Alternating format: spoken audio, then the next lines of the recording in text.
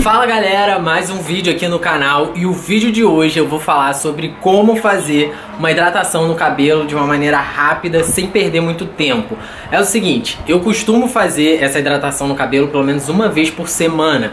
Porque, cara, eu uso, tenho usado, né, cera no cabelo, uso muito secador e aí o cabelo começa a ficar ressecado e ele fica sem brilho, opaco, vai ficando todo cagado. E aí é bom uma vez por semana, de repente, o que eu geralmente faço, uma vez por semana eu não uso cera no cabelo e não uso secador para ele secar natural e aí agredir um pouco menos o cabelo. Mas aí, o que, que, acontece? Existem algumas formas de fazer hidratação no cabelo e a forma que eu vou mostrar pra vocês hoje é a que eu mais costumo fazer porque você não perde tempo, cara. Dá pra você fazer as coisas do seu dia e não vai perder mais nenhum tempo com isso. Que é fazer, usar uma máscara como pré-shampoo. Só que deixa eu, eu vou só botar a câmera no lugar aqui eu falar melhor, peraí. Então, eu gosto de usar essa técnica do pré-shampoo porque, cara, ela você não gasta mais tempo do seu dia para poder fazer essa hidratação. E é o seguinte, eu pego uma máscara de cabelo, uma máscara de hidratação. Cada vez eu pego uma, mas como eu sei que vocês vão perguntar, nesse vídeo aqui eu vou usar essa daqui, ó, que é a Dr. Ricino. Ela é da linha Novex, que é da Embeleze, beleza? E aí eu vou usar ela. E como é que é? Tipo, ó, eu cheguei da academia, meu cabelo tá suado. E aí a ponta dele tá, tá um pouco ressecada. Não tá tanto porque eu fiz já no início dessa semana essa, essa hidratação. Eu fiz no início da semana. Então por isso que a ponta não tá tão ressecada assim. E aí, como é que eu faço? Tipo, cheguei da academia para não perder tempo, né? Cheguei da academia, ou você chegou do trabalho, enfim, eu geralmente faço quando eu chego da academia. E aí, com o cabelo sujo mesmo, eu pego e passo esse creme. Por isso que é como pré-shampoo, porque você usa antes do shampoo, antes de tomar banho.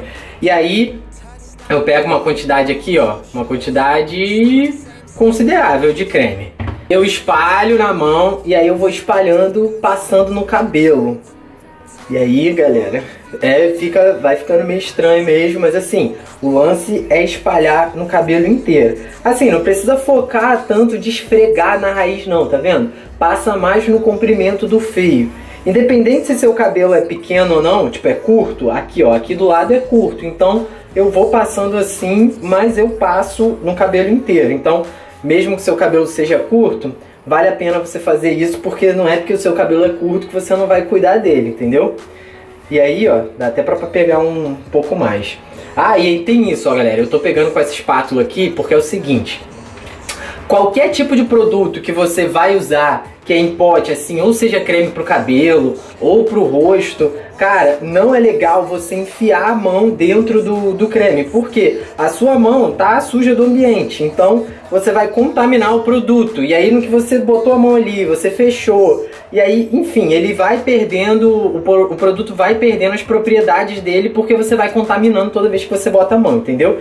Então qualquer produto que você vai usar, seja pro cabelo, ou seja pro é, pro rosto, enfim, qualquer tipo de produto que não seja desses que a gente bota assim na mão, esses que, tipo, tem contato, é bom você usar uma espátula. E essas espátulas aqui vendem na farmácia, vende um saquinho com um monte, então não tem, não tem erro. Mas, gente, se não tiver uma espátula dessa aí, pega uma colher mesmo aí na tua casa e vai. O negócio é você não enfiar a mão.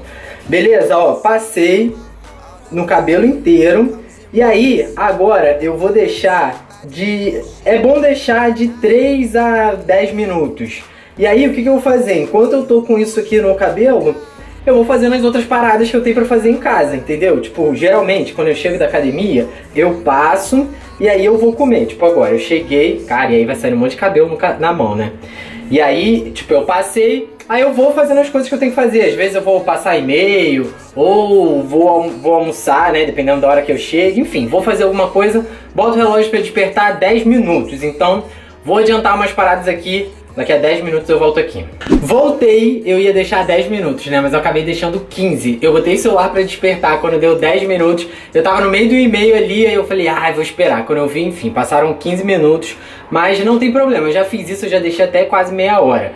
E aí o que acontece? Agora eu vou tomar banho normalmente e aí eu vou lá, na hora de lavar o cabelo, eu vou tirar essa máscara e vou lavar o cabelo com shampoo. Você pode usar aí, tirar a máscara, lavar com shampoo e condicionador normalmente. Eu não, quando eu uso máscara como pré-shampoo, eu não passo condicionador depois que eu lavo o cabelo, porque senão meu cabelo fica muito escorrido e eu não gosto. Eu gosto mais quando ele fica com volume. Então, quando eu faço essa hidratação com pré-shampoo, eu lavo a cabeça, eu tiro a máscara e lavo só a cabeça com shampoo. Mas aí no seu cabelo você testa aí como que você vai gostar mais. Se você lava com shampoo e depois com condicionador ou se você lava só com shampoo. Lembrando que, né, gente, condicionador não passa na raiz do cabelo. Tem um vídeo aqui no canal que eu falo como você usar o condicionador da maneira correta. Vou deixar esse vídeo, o link dele aqui na descrição do vídeo, beleza? Então, vou lá, Vou lavar o cabelo e já volto aí, segura aí. Acabei de lavar o cabelo aqui, como eu falei, eu usei só o shampoo. E aí eu tô vindo aqui pra dar mais uma dica que é o seguinte, independente se você estiver fazendo hidratação ou não, quando você for secar o cabelo, não seca tipo com a toalha, botar a toalha e esfregar o cabelo. Por quê?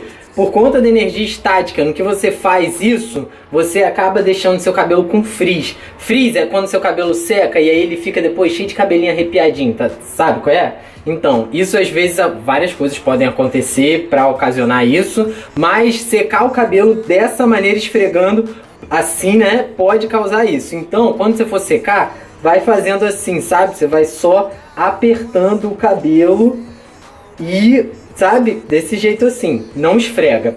E aí, pronto, ó, lavei, já tirei a máscara, passei só o shampoo. Galera, só de passar a mão já dá pra sentir que o cabelo tá bem diferente, porque ele fica mais, fica um pouco mais macio. Aqui, ó, deixei o cabelo secar natural, não sei que com secador, não sei que com nada, só pra vocês darem uma olhada. Olha só como é que ficou a ponta, tá vendo?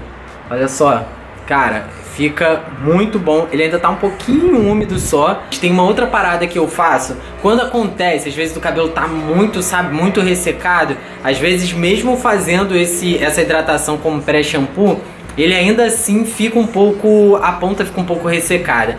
E aí eu uso um óleo na ponta.